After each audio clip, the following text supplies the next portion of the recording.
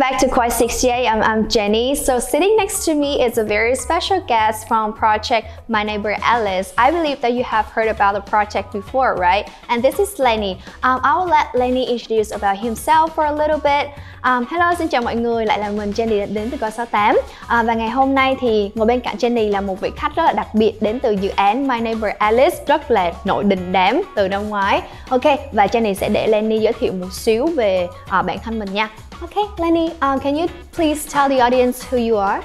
Absolutely. Hi everyone, my name is Lenny Pettersson and I'm the CEO of gaming studio Antler Interactive and acting CEO of My Neighbor Alice. And I'm really happy to be here today and share some insights on what we're doing with My Neighbor Alice. That's awesome. Okay, so first of all, welcome to this interview and welcome to Singapore. Actually, this is my first time in Singapore. How about you? What brought you here? It's actually my first time as well and I'm wanted to go for a very long time.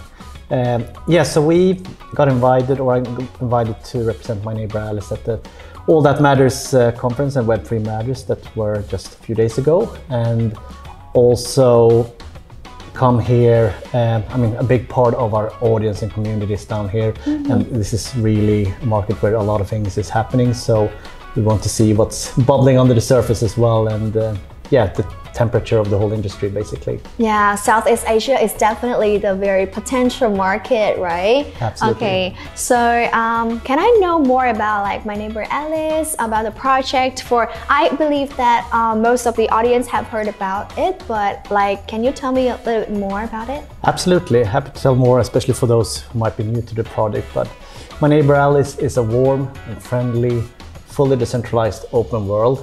It's, it's a game where uh, players can fish, farm, create and build and meet new neighbors and friends and also have the opportunity to grow a prospering economy for themselves or just play the game just for fun. Yeah. And it's a quite cozy world, very colorful with uh, inspiration from Scandinavian children's books, but also we've drawn a lot of inspiration from games like Animal Crossing and the Studio Ghibli movies.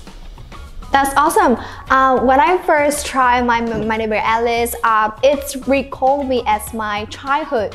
Because in Vietnam, I do believe that you guys all know the game is Nông Trại Vui Vẻ. It's Happy Land, like some kind of the concept, but it's Web 2 and I am not sure if anybody play it right now because it's like 10 or 15 years ago but it's very familiar vibe with the Vietnamese people. And yeah that's why when I play My Neighbor Alice it's very chill it's very relaxed and it's remind me about the farm and the people neighbors everything. Um, so um, yeah the third question is um, which stage of the game it's itself and mm. um, do you have any interesting like upcoming plan in the future you want to announce the community? Absolutely. I mean we're in the middle of production right now uh, so we just a couple of months ago we launched our first alpha season. So doing an alpha season model where we sequentially launch just piece by piece parts of the alpha to showcase more and more content to the community. So currently the team is um, very busy working on Alpha Season 2, uh, which will introduce a lot more features than ever before. In, in the first season, fishing was the main feature. Mm -hmm. You could do quests and you can explore the newly uh, revamped town of Lummelunda, which is uh, sort of the capital of the game. But in the next season, you'll be able to explore more lands, much more art, much more features and quests and more, hang out with more friends. Yeah, that's awesome. Um, by the way, I remember that My Neighbor Alice, as you guys know, that My Neighbor Alice is one of the project on Binance Launch Pool, and also um, everything goes very well about the performance and everything. So just my personal questions what brought you guys to come up with the idea of My Neighbor Alice because as you can see a lot of web3 or NFT games they are you know shooting guns or RPG and a lot of things around that football or imagination so what brought you to My Neighbor Alice concept? Absolutely and after that I will share some more features that okay. we're working yeah, for yeah, sure. as well just to give more but yeah no it's actually exactly like you said when we came up with the idea, everything was around, yeah, it was shooters, it was everything was sci-fi, a little bit more dark, I guess, and such. There were everything had crypto in the name mm -hmm. or block yeah. in the name, was something like that. So we wanted to create something that felt much more accessible and much more, much more inviting. So we draw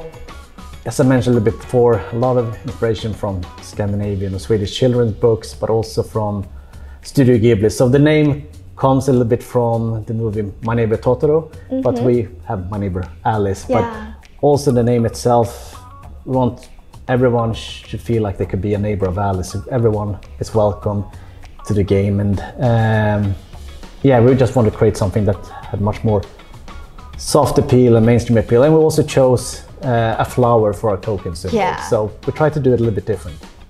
Who is Alice? Alice, sort of the main character in the game, and Yeah. she's the, the guardian of the archipelago. So she has inherited it from her uh, ancestors and now invites new neighbors to nurture these lands. So basically, the guardian of, of the lands. Oh, I mean, like, do you have any member from your team named Alice? We, don't actually. so, That's the purpose of the so, question. so it's still a little bit of a secret. okay. Um, yeah, last questions is for the audience who is watching. Maybe you guys are Vietnamese or non-Vietnamese, but um, do you have any things to say? Because we have a lot of, you know, huge support from the community all over the world, right? And the same with Vietnam community. So do you have any things to say to the community and audience? I do. I mean, we really, really appreciate uh, the Vietnamese community. I mean, so advanced and so far ahead when it comes to Web3 and everything, and been one of our strongest early adopters. So, um, a few things, and we also have developers based in Vietnam. Some of our most talented developers on the game are located in Vietnam. Uh, some things that we will do more. We're going to do more. Uh, uh, localized articles, much more localized content, and Vietnamese is definitely one of the languages uh, we're going to roll out first. So that's one thing we'll uh, give to the community and make, yeah, sure we produce much more content for uh, this this region as well.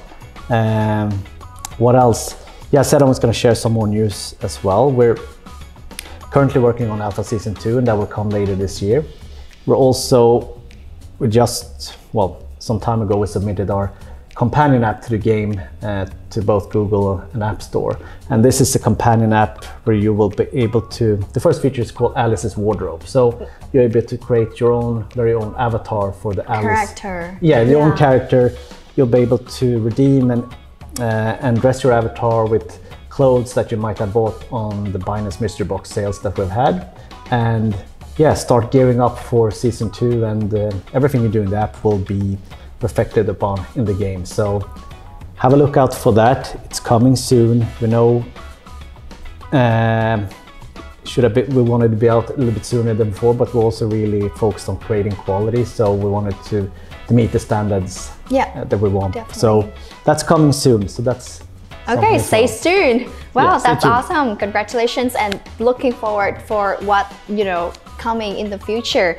Okay, another questions about, you know, when um, crypto project, especially Web3, when they want to grow, when they want to scale, of course, need a lot of, you know, collaboration for the partner side as well, like besides of the community. So can you tell us a little bit more about the partnership side of My Neighbor Alice? Um, you can, you know, give a little bit more details on that. Absolutely. So we just we've been waiting quite some time to find the right partnerships because we want to sign with big ones, but also ones that really fits our community and can give value to our players. Um, so we just signed with uh, global fashion and lifestyle brand ELLE, and we're going to work together with them to create in-game ELLE branded experiences and quests, for example. One thing that we really focus on is self expression for our players, to have them be able to communicate our entity, but also create together with us. So, and that's something we focus on really hard right now to bring on more partners, partners that add value to our community and players. That- And um, last thing, we're also scaling up the team quite a bit. So please stay tuned and have a look at our LinkedIn page for new opening positions in the future. Maybe you'll be one that joined the Alice team in the future. Yeah, that's awesome. And of course, um, thank you so much everyone for listening to our talk and thank you so much for Lenny for fly over to Singapore and we have a chance to meet in person and talk to each other about, you know, about the project, about everything. Um, so yeah, thank you so much for joining this interview and thank you everyone for listening. Thank you, Jenny. It was a pleasure. See you all.